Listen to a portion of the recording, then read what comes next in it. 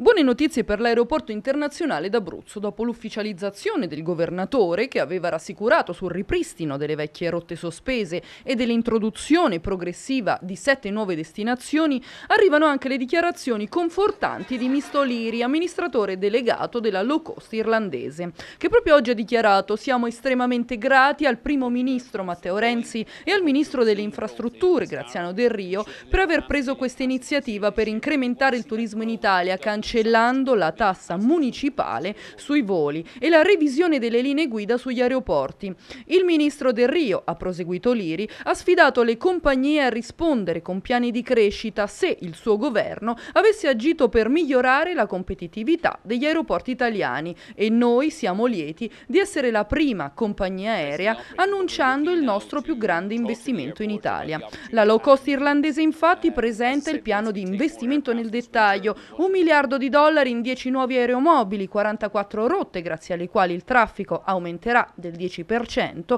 passando da 32 milioni di passeggeri del 2016 a 35 nel 2017, decretando di fatto Ryanair prima aviolinea in Italia. Aumenti previsti anche per i posti di lavoro che saranno implementati di 2250 unità. A commentare il buon esito delle trattative arriva anche il ministro alle infrastrutture Graziano Del Rio che spiega come il governo italiano stia continuando il suo percorso di allineamento alle norme europee, norme che per inciso avevano creato la dipartita di Ryanair, bloccando di fatto tutti i finanziamenti di Stato nei confronti delle regioni. Grazie all'investimento garantito dalla compagnia di volo, spiega, si aprono più opportunità al turismo in Italia e soprattutto più occupazione. Salvi dunque, dopo non poche preoccupazioni, l'aeroporto di Alghero e quello di Pescara. Già da questa settimana infatti i voli torneranno in vendita.